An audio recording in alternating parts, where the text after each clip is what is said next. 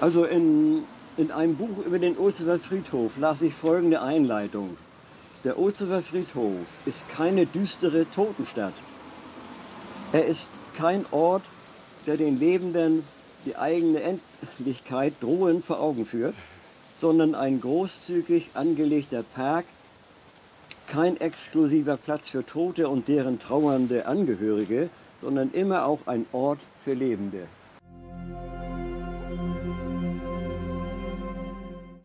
Hier haben wir Gustav Gründgens, Schauspieler, Regisseur, Intendant äh, bei den Hamburger Kammerspielen, Deutsches Theater Berlin, Deutsches Schauspielhaus Hamburg. Er starb während einer Weltreise in Manila.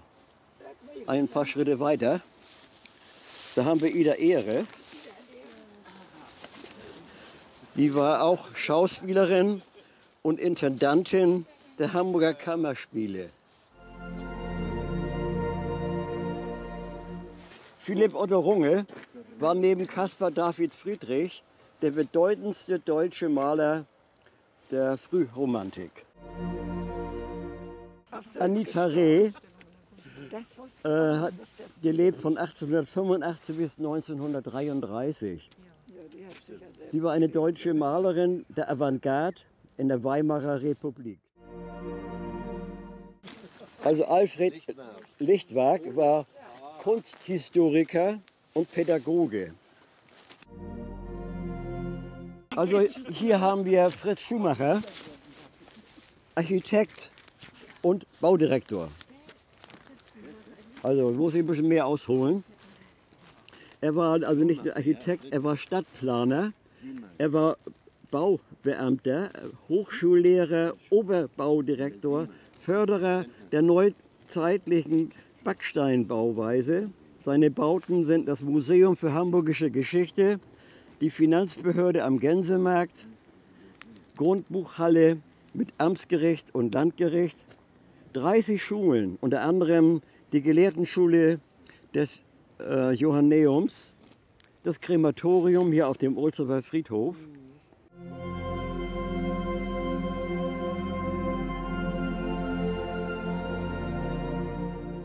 Ich wollte nur darauf hinweisen, dass wir hier eine Sächeltanne haben. Ja. Also ich kenne auch nicht so viele Bäume, aber dies habe ich mir gemerkt. Nein, nein, ich will jetzt nicht kokettieren. Ich wollte wollt nur mal sagen, die erkenne ich immer wieder, weil die einzelnen Nadeln wie eine Sächel aussehen. Diese und vor allem der hier. Ein Hamburger Räder und äh, eine der bedeutendsten jüdischen Persönlichkeiten in der Zeit des ähm, Deutschen Kaiserreiches. Er machte als Generaldirektor die Hapag zur größten Schifffahrtslinie der Welt. Hapag ist die Abkürzung für Hamburg-Amerikanische Paketfahrt-Aktiengesellschaft. Seine bewegende Lebensgeschichte wird bei Wikipedia ausführlich beschrieben. Hier nur äh, ein paar wichtige Angaben. 1901 ließ Albert Ballin auf der Elbinsel Veddel äh, Massenunterkünfte für tausende Auswanderer errichten, die aus ganz Europa jede Woche in der Stadt ankamen.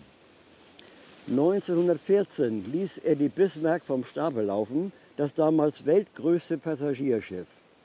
Er starb 1918 durch eigene Hand.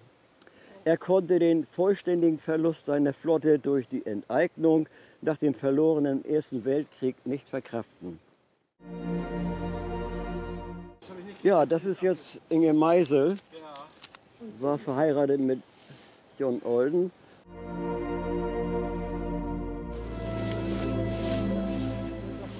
Das sind hier die Feuerwehrgräber.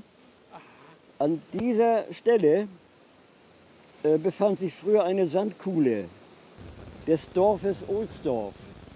Ne? Der Name sagt ja, dass es ein Dorf war. Die hatten hier, holten hier ihren Sand. Und 1953 wurde mit der Einrichtung dieses Grabfeldes äh, begonnen.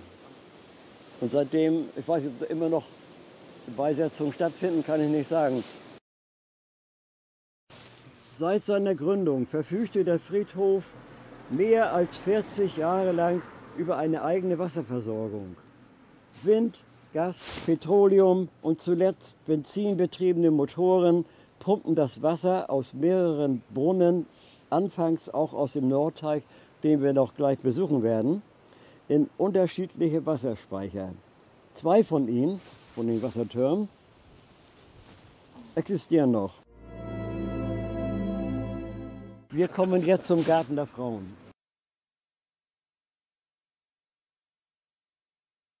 Also der Garten der Frauen ist eine Gedenkstätte bedeutender Frauen, getragen, gepflegt, erhalten, finanziert vom gemeinnützigen Verein seit 2001. So, aber wir sind hier an der Erinnerungsspirale.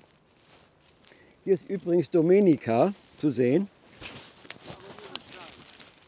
Naja, sie wird hier auch beigesetzt sein. Die, ja, die hieß Anita Niehoff, eine Pro Genau. Prostituierte. Ne? Aber sie setzte sich auch für, Ja, für andere Frauen sehr ein. Johanne Henriette Marie Müller. So, mit einem Korb voller Zitronen zog Zitronenjette durch Hamburgs Straßen und Kneipen. Sie war arm und lebte vom Verdienst der verkauften Zitronen. Viele ihrer Kundinnen und Kunden hauten sie übers Ohr. Kaum jemand machte sich darüber Gedanken, was man Zitronenjette seelisch antat. Wenn sie zum Gespött der Straßenjugend wurde, die gröhlend hinter ihr herlief.